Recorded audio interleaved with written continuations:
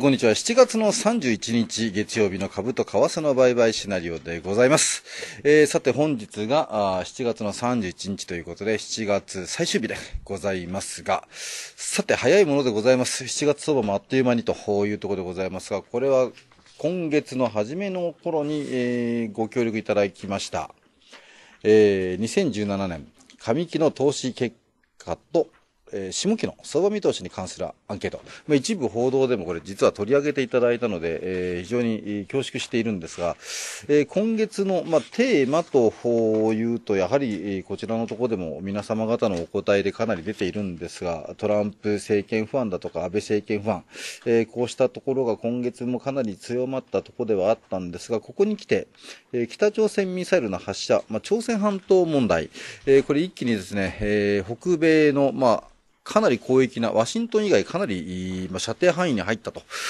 いうことを、米国におけます地政学リスクないしは、改めてでございますけども、米朝関係の緊張というような指摘報道などがあったと。いうところでございましたが、本日の東京市場、じゃあリスクオフの動きになったのかというと、そうしたところではございません。かなりゆるゆるゆるの月末調整色がかなりつ、えー、まあ、強まったのかなというイメージでございます。えー、ドル円相場は1ドル110円の、まあ、前半を中心とした展開。えー、日経225は19,900円台を中心とした動き。えー、現時刻1ドル110円の70銭台、日経平均、日経225、東京金融取引所クリック株365では19,980円台というところで、まあ、少し下押しからもう一回割り試しなのかなというイメージでございますが、ここから大きくですね、えー、上昇申請ないしは下落幅を強めるというようなムード、ないしはそうした材料がちょっと今乏しいのかなと。いうところでの週初月曜日の東京市場終えたというところでございます。で、ちょっとこちらご覧になっていただければというふうにして思いますが、日経225のオプションでございますけども、えー、こちらの方今日気になったのは、これは8月切りでございますけども、2万トンで500円、2万トンで370円、2万トンで250円のコール、えー、それぞれ2700枚、2000枚オーバー、2000トンで2万トンで250円のコールが3500枚というような形でかなり膨らみを見せています。まあ、コール、えー、出来高膨らんでいるんですが、気になりましたのが、プット。19,250円のプットが4000枚を超えるというような、まあ、ボリューム感、膨らみ、そして18,500円、まあ、2,800万円なんですが、なんと17,000円のプット、まあ、これはかなりですね、でもリーズナブルなプライスで、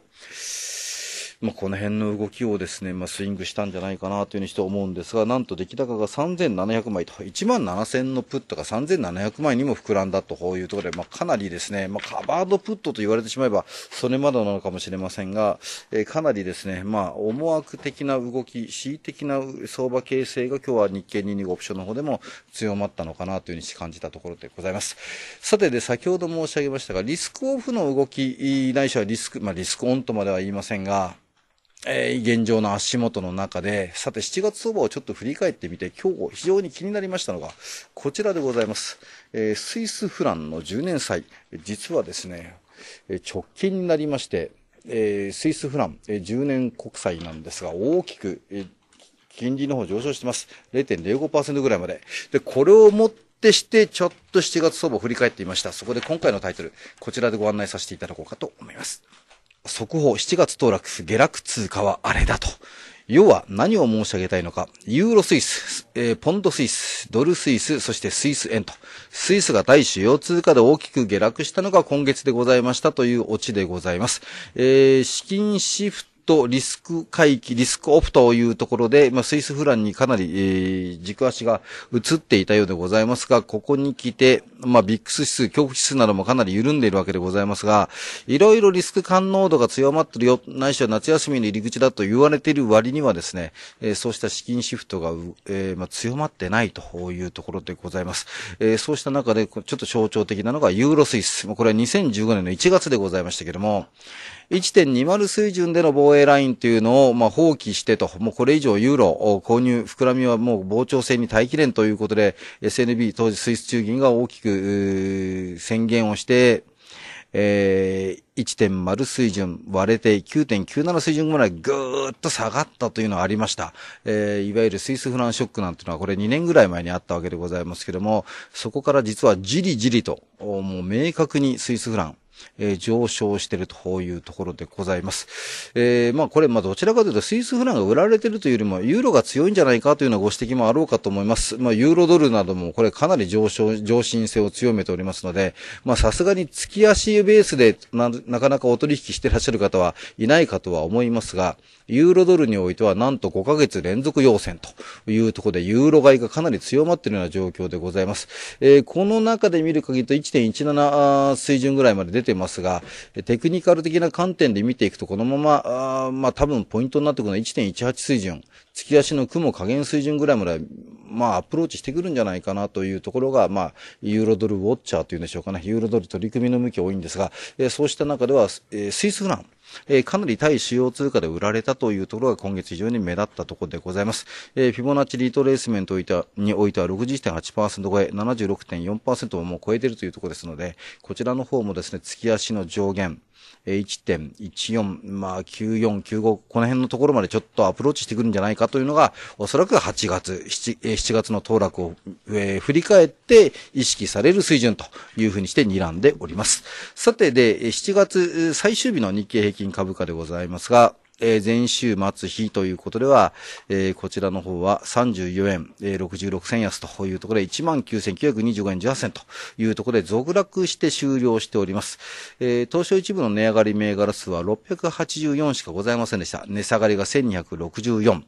で、今日目立ったとこなんですが、まあ、ニューヨークダウ史上最高値更新というところではあったんですが、えー、まあ、それに、じゃ関してわっしょいわっしょいと言ったかというと、やはり円高、1ドル110円台、まあ、ミドルからというところの水準感、やはりどうしても意識したのかなというところかと思いますが、えー、神戸製鋼、5405ですかね、えー、こちらの、5406か、ごめんなさい、5406、えー、神戸製鋼ですけども、こちらの方が、まあ、えー、上昇率かなり強めました。えー、中国油圧ショベルの増加、業績期待。これ一部の証券会社目標株価を引き上げておりますので、1年7ヶ月ぶりの高値圏まで買われたというところでございます。で、その他なんですが、日野自動車7202だとか、あ、あ失礼、7205が日野自動車ですね。あと、いすず7202。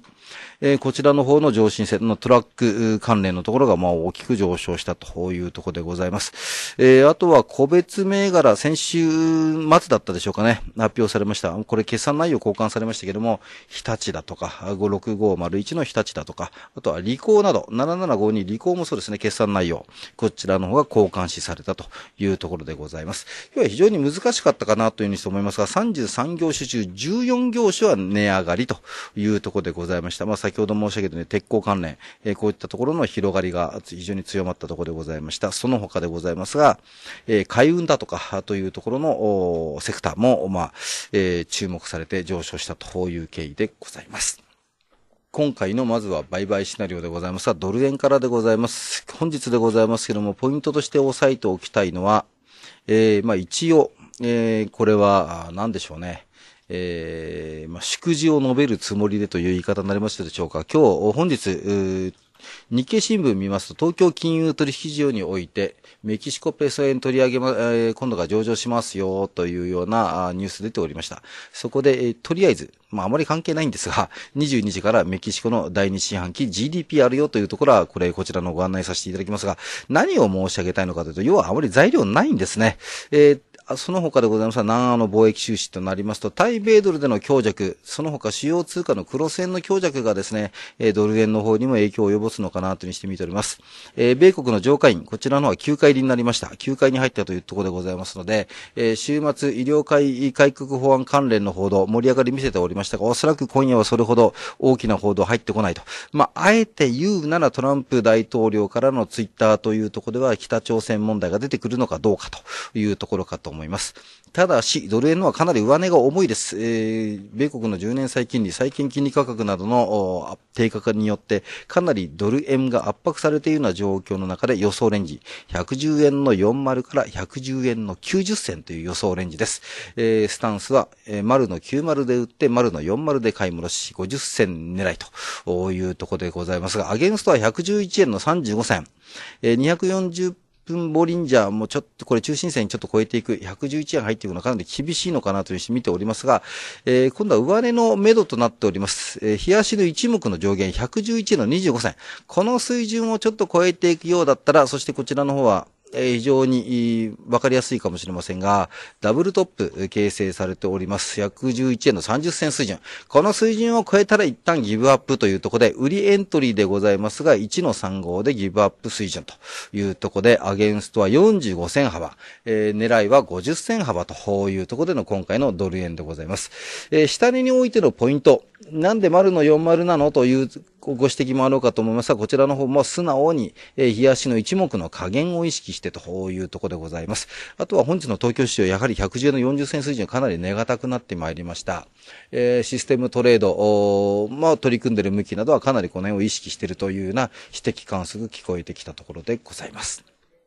売買シナリオ日経225。で、こちらの方は売り買い両サイド勘案いたしました。19,920円から2万円という予想レンジで A 案。19,920円で買って2万円で売る。ないしは2万円で売って19,920円で買うというところです、それぞれえー、8円値幅でございますが、リスクの方はちょっと違います。えー、売った場合でございますけども、2万円で売った場合のリスクは2万トンで50円。えー、冷やしの一目転換、冷やしのボリンジャー、冷やしの基準線、この辺がずずずっといっぱいございますので、この水準ちょっと超えたところで、えー、50円。え2万トンで50円で、えー、こちらのは損切り、ストップ、えー、設定というところで、売った場合は80円値幅でございますが、あリスクの方は50円幅というところです。で、買いの方なんですが、19,920円で買ってというところなんですが、リスクの方は、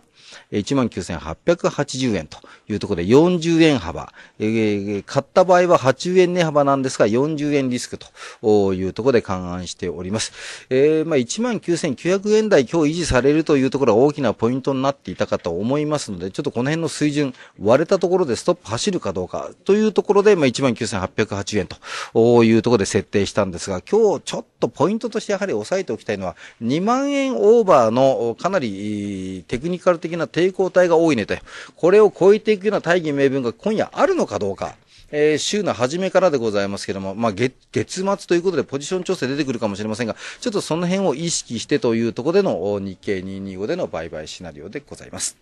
ということで、7月取引日、最終日ということで、もうなんか非常に週の途中からですと、ちょっと中途半端なんですが、えー、明日から8月相場、8月1日というところでございます。えー、さて、今週でございますけれども、8月の4日、金曜日が米国の雇用統計、ガチンコ雇用統計がございますが、えー、さて週末の雇用統計睨みで月初値動きが取りづらくなるのか、えー、もしくは本格的な夏休み前にポジション調整が強まるのかどうか、えー、非常に警戒したい週でございます。えー、お取り組みの際は、えリスク管理の十分ご注意していただければというふうにして思います。以上、7月の31日月曜日の株と為替の売買シナリオでございました。